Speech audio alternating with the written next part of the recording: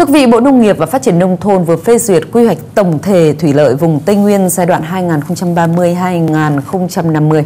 Theo đó, thì tổng kinh phí thực hiện quy hoạch khoảng hơn 100.000 tỷ đồng.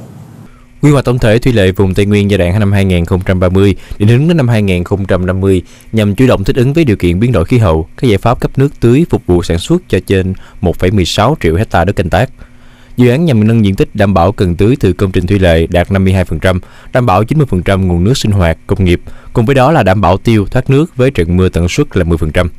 Về công trình thì khu vực sẽ được tập trung sửa chữa nâng cấp các công trình đầu mối, công trình bị hư hỏng xuống cấp.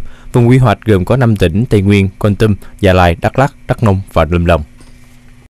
Ủy ban nhân dân thành phố Hồ Chí Minh vừa kiến nghị Bộ Kế hoạch và Đầu tư trình Thủ tướng Chính phủ chấp thuận bổ sung dự án sân golf Cần Giờ thuộc đồ án quy hoạch khu đô thị du lịch biển Cần Giờ với quy mô 2.870 ha thị trấn Cần Thạnh vào danh mục quy hoạch sân golf Việt Nam đến năm 2020.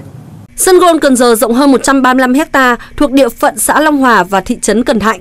Chủ đầu tư là công ty cổ phần đô thị du lịch Cần Giờ. Tổng mức đầu tư theo đề xuất của công ty đô thị du lịch Cần Giờ là khoảng 900 tỷ đồng, chưa gồm chi phí giải phóng mặt bằng, lãi vay. Dự án khi đi vào hoạt động sẽ đóng góp lớn vào GDP của thành phố, giải quyết công việc thường xuyên cho 300 đến 400 lao động, góp phần thúc đẩy phát triển du lịch và kinh tế huyện Cần Giờ. Theo quy hoạch đã được phê duyệt, đến năm 2020, thành phố Hồ Chí Minh có 5 sân gôn. Hiện tại, sân gôn Thủ Đức 266 ha và sân gôn Tân Sơn Nhất hơn 157 ha được đưa vào hoạt động. Sân gôn GS rộng 200 ha mới đi vào hoạt động một phần. Sân gôn Sinh Việt ở huyện Bình Chánh rộng hơn 70 ha đang giải phóng mặt bằng.